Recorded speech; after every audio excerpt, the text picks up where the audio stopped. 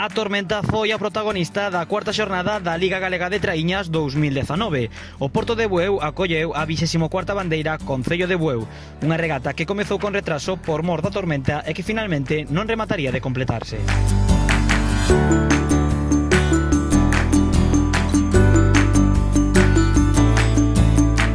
discutían na primeira quenda os tres equipos que pechan a táboa da Liga 2019, o Club de Remo de Rianxo, a Megrove Club de Remo e o Club de Remo Muros, aínda que parecía que sería unha quenda igualada xa que na primeira manga Rianxo chegaba en 4.50, un segundo por diante de Muros e novo por diante da Megrove, nos seguintes tramos Rianxo volveu a dar un golpe de autoridade na zona baixa. A segunda cía boga, Rianxo facía en 9.51 e deixaba Muros en 9.57 e a Megrove en 10.10. Os rapaces de Moncho, cunha motivación especial, non cederon ata o final para tentar complicar os rivais das seguintes quendas.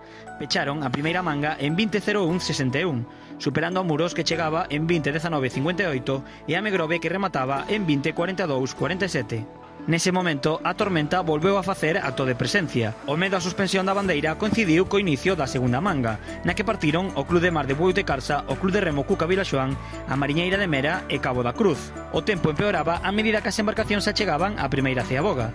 E así como viraron, os árbitros decidiron parar a regata pola seguridade dos remeiros. Feito que proclamou a Rianxo campeón da 24ª bandeira Concello de Bueu. Unha vitoria especial e comensaxe para a compañeira Rianxeira que a seguinte vitoria de Rianxo será a súa. Sí, moi, moi especial, a pesar de ser gañada en unhas condicións diferentes debido ás condicións meteorolóxicas, pero bueno, moi contentos, e máis xuxeron un día moi importante para nós, moi especial. Hoxe remamos cuns lazos naranxas apoiando a leucemia, porque temos unha compañeira de equipo da nosa pequena familia que, bueno, diagnosticouselle leucemia fai uns días, e nada, queríamos demostrar o noso apoio e dicirlle que esta bandeira vai dedicada para ela, que o sepa.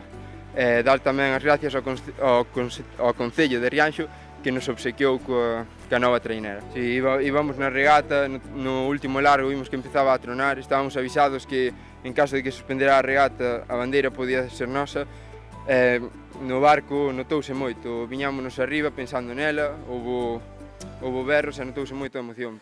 Saímos que as cousas moi claras, queríamos facer un bo papel, sabíamos que non estábamos solos e remando, íbamos 15 personas a bordo, e, bueno, demos máis do 100% en esta regata.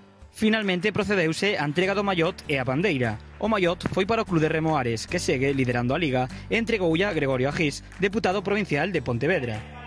Posteriormente entregaríase a 24ª bandeira Concello de Bueu, que sería entregada a Rianxo por parte do alcalde Félix Juncal.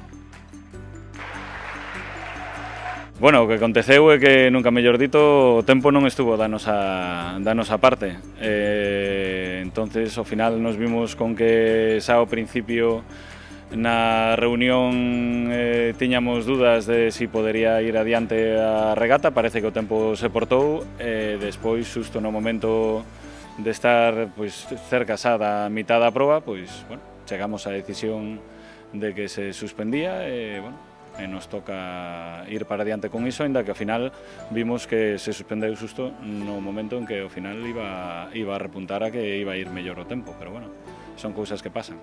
Gana Rianso, teño que ver con detalle a normativa, o resto dos a regata é unha regata non puntuable, eh, co cal, bueno, pois, dende un punto de vista da Liga todo sigue igual, a regata de huevo como se si non estivera, sí que estaremos aí con respecto a todo o que ten que ver co reparto, o trofeo, bueno, se acaba de entregar agora a bandeira a Rianso, e eh, depois faremos o reparto correspondente de premios tal como establece a, a normativa, eh, é o que te podo dicir. Tivemos unha regata fallida. A bandeira máis especial para os Rianxeiros.